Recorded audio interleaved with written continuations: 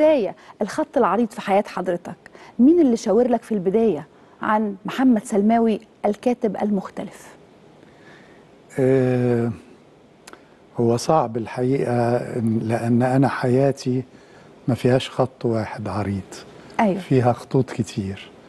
آه، أنا صحفي وأديب ونقابي وإنسان له موقف سياسي أيضا فشاركت في الحياة العامة آه، في يعني تشكيلات ومواقع مختلفة. فكل جهة من دول كانت تعتبر في حياتي خط عريض. الأدب خط والصحافة خط والعمل النقابي آه، لما رأست اتحاد الكتاب أو لما كنت في آه، نقابة الصحفيين ده خط مهم في حياتي أيضا. لما كنت في لجنة الدستور أو حاليا في الحوار الوطني أو آه، غير ذلك برضو ده خط مهم صحيح. آه، في حياتي.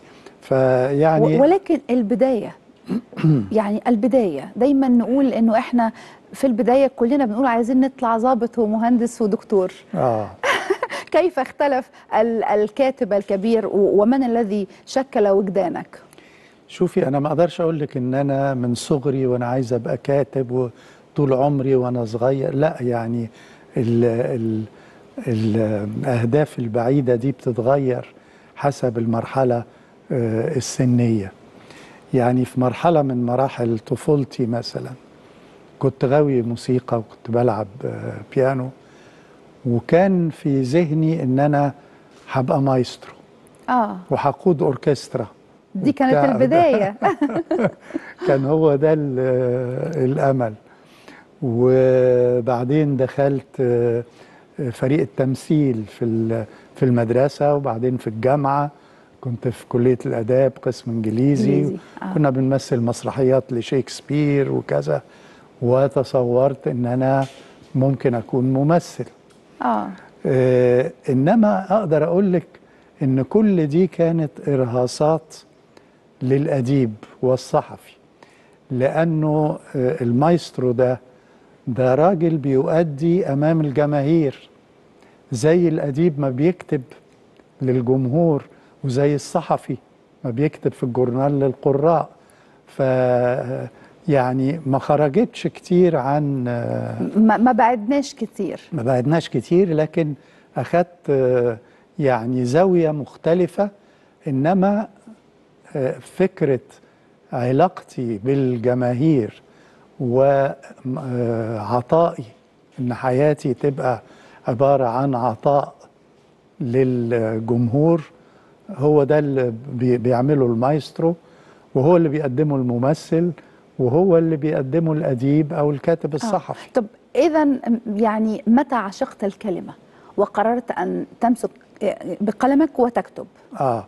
شوف كنت بكتب طبعا من وأنا صغير لكن ما كنتش متأكد إن أنا هبقى كاتب يعني أو إن دي يعني عارفة مرة سألوا الشاعر الكبير تي اس اليوت آه، من هو الشاعر؟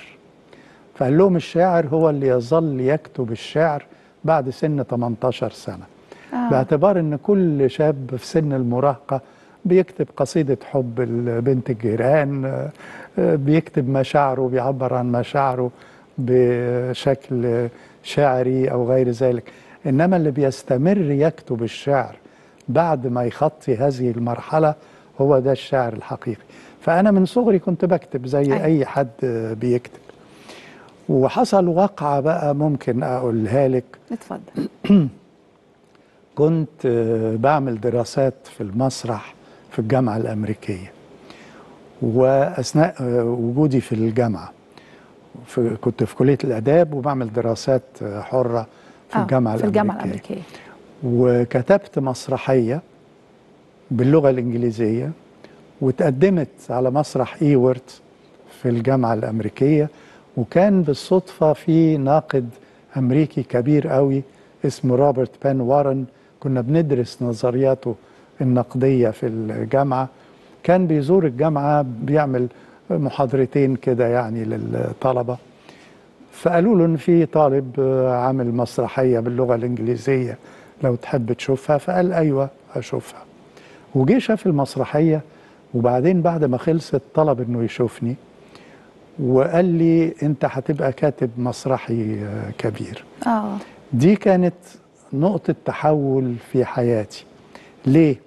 لأنه طبعا الحاجات اللي أنا بكتبها بيقراها أصدقائي بيقراها أسرتي يقولوا لي آه حلوة قوي آه. آه. كويس بتاع فممكن تشوفها نوع من المجاملة ممكن آه. آه. أو أو حتى هي في عينهم كويسة أيوة. لأن من من كتر ما آه، بيحبوك أو أنت مثلاً. قريب منهم آه إنما إن واحد ما يعرفنيش ويعتبر حجة في النقد وراجل أديب وناقد كبير جدا له مدرسة إنه يقول لي هذا الحكم فالإنسان في بداية حياته بيبقى محتاج برضه إنه يسمع رأي من حد رأي مجرد وموضوعي من حد يعتبر مرجع صحيح. في آه، مهنته يعني صحيح فدي يعني أقدر أعتبرها نقطة تحول هي اللي نبهتني إن الكتابات اللي أنا بكتبها دي ذات قيمة وممكن إنها يعني تساوي شيء لو استمريت فيها. صح.